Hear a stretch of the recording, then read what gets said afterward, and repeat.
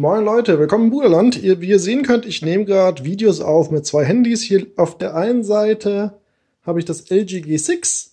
Ja, auf der anderen Seite habe ich ein iPhone 7 so als Referenz. Und jetzt laufe ich mal durch um meine Wohnung, um mal so ein paar verschiedene Szenarien wiederzugeben und wieder so die Kameras reagieren. Ich habe jetzt das LG G6 schon eine Weile im Einsatz und muss sagen, ich bin prinzipiell sehr zufrieden mit der Kamera. Äh, aber es gibt gerade bei der ähm, Selfie-Kamera doch so ein paar Sachen, die mich ein bisschen stören. Also gerade bei, bei dunklen Lichtverhältnissen, da ist das Rauschen natürlich stärker. Ihr seht, da macht insgesamt so das iPhone 7, ich sag's mal, die helleren Bilder. Äh, aufnehmen tue ich gerade in Full HD in 60 FPS. Und werde dann versuchen, mal so diese Bilder nebeneinander zu legen. Also auf jeden Fall sind das, sage ich mal, Aufnahmen. Und wenn man da jammert, dann ist das Jammern auf hohem Niveau.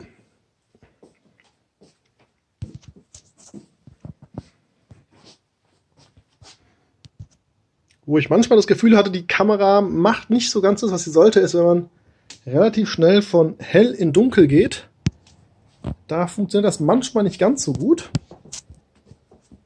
Aber wie gesagt, insgesamt eigentlich gute Videoaufnahmen, auch die Tonqualität. Also gerade eben habt ihr den Ton, sage ich mal, vom LG G6, den ihr hört. Ich habe hier kein gesondertes Mikro. Und das funktioniert schon. Wo ich ein bisschen enttäuscht bin, ist, sage ich mal, die, dieser optische Bildstabilisierer. Da habe ich jetzt ein paar Aufnahmen gemacht, als ich draußen war. Und das hat mir eigentlich nicht so wirklich gefallen. Ich hoffe, das kann man nachher mal schön nebeneinander legen, damit man den Vergleich hat. Also wie gesagt, das sind jetzt gerade die Aufnahmen mit der Hauptkamera, 13 Megapixel. Und ich habe den Wide Angle ausgeschaltet, das ist die, die normale Sicht. Und hier ist das, hier ist where the magic happens, das Chaos im Bulerland. Und ihr seht, die Lichtverhältnisse sind jetzt schon ein bisschen schlechter, dadurch, dass der Roller unten ist. Ansonsten, ich zappel jetzt mal ein bisschen ab, hoch und runter und dann gucken wir mal, wie das Bild sich so verändert. Aber prinzipiell macht die Kamera wirklich gute Aufnahmen.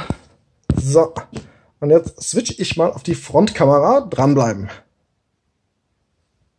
So, da sind wir jetzt wieder.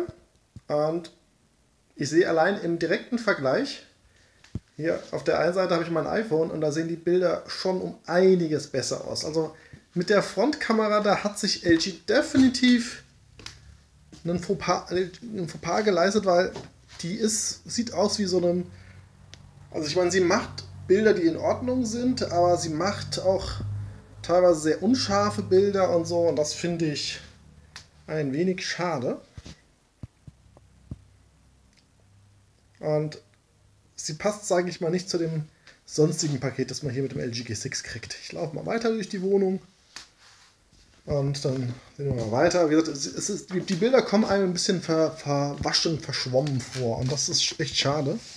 Weil man ansonsten eigentlich ganz gute Bilder mitmachen kann. Und ihr seht jetzt, ähm, wir sind jetzt hier im, wieder im Büro drin und sofort fängt das Rauschen an. Und da, da ist bei Zeichel im Vergleich hier auf dem iPhone ist da noch weit und breit kein Rauschen, aber beim LG definitiv schon. Ja, also das ist auch so eine Sache, wo ich auch sage, das LG G6 taugt für mich jetzt überhaupt nicht so als Vlog-Kamera, weil dafür ist diese Frontkamera doch zu schlecht. Das ist echt schade. Aber man kann ja nicht alles haben, ne?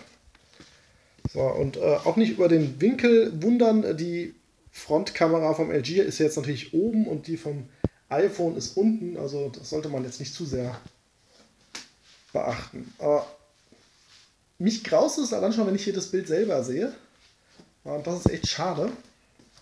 Aber ansonsten, naja, also für, für eine kurze Videotelefonie per Skype und WhatsApp reicht es, aber man sollte da keine Wunder erwarten. Und ein Selfie sollte man damit schon gar nicht machen, weil damit wird man keinen Spaß haben. Das sieht auf dem iPhone 7, selbst wenn es jetzt schon fast ein Jahr alt ist, auf jeden Fall besser aus als beim LG G6. Da, das muss sich LG einfach gefallen lassen. Ja, ähm, an der Stelle höre ich jetzt einfach mal auf. Das war jetzt einfach mal so ein kurzes Vergleichsvideo.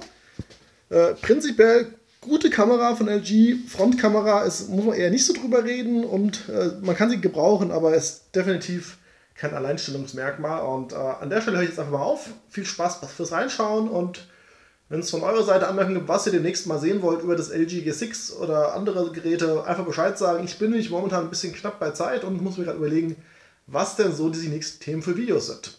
Euch noch einen schönen Sonntag. Bis die Tage. Ciao, ciao.